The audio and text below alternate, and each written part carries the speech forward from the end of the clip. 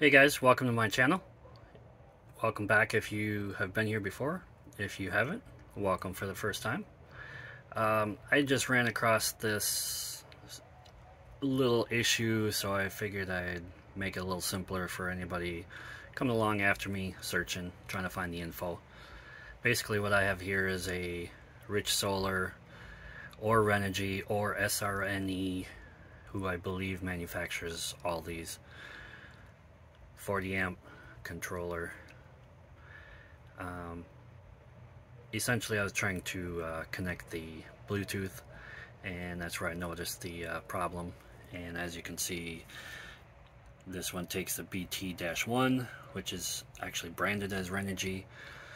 Uh, it's just a few dollars cheaper than the actual branded Rich Solar but they all work the same. Um, I believe the newer version uses the BT-2 and in case you're just looking for the uh, app password that's it right there. I had to search around and try to find what that was. So I'll show you the setup in just a second.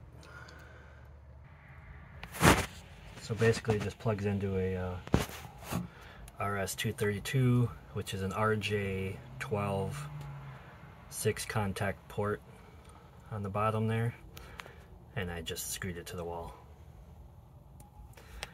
And then it gives you uh, Bluetooth remote access and gives you additional settings options.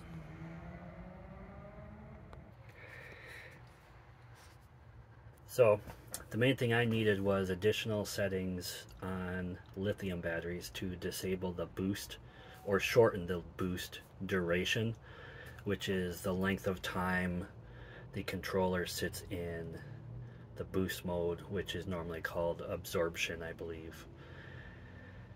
Um, in the lithium settings, you can't change that. It's set at two hours, which is too long. So it's recommended to have that at 10 minutes. The only way you can do it, as far as I can tell, is from the app and from the settings.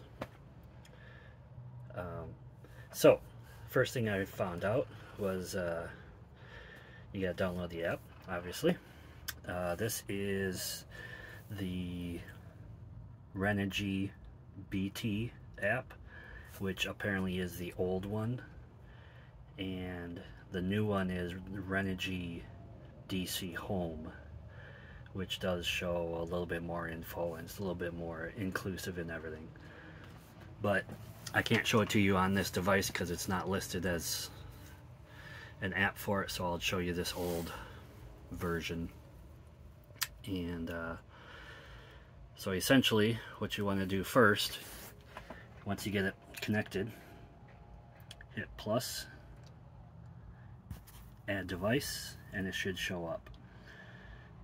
Obviously you gotta install the app and all that and uh, you have to enable the location and Bluetooth allow it to access files and location and all that stuff. It's just the way Android is these days uh, probably iPhone devices also. Uh, basically it's just in the settings and stuff it's all tied in so you got to give it all that access. I don't like it either but what do you do? So uh, find your device. It'll usually be listed under uh, BT something. I renamed mine as Rich 40 and then just hit confirm. So I'm already connected, so obviously it's already there. Then, uh, if you want to change any settings, go up here to plus, administrator. And this is where the problem is. You need the password. There's the password enter the password in there and then you'll be able to uh, change things. Now you can change it um, change password. Sorry.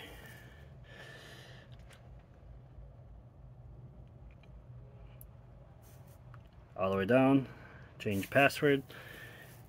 Type in the old type in the new hit confirm it should change it. I did already. Um, I think it only does it on the device, allowing this app to actually change it. I don't think it actually changes it on the controller, but it's hard to know for sure. So uh, it, it'll basically give you, you know, all the stats if you want uh, to change the settings, which most of us, that's what we want to do. This is pretty much how you're going to do it. And you're going to want it to read, and you'll get that little Chinese or whatever. And it should read successfully. So now you can go in there and change your settings. Mine specifically is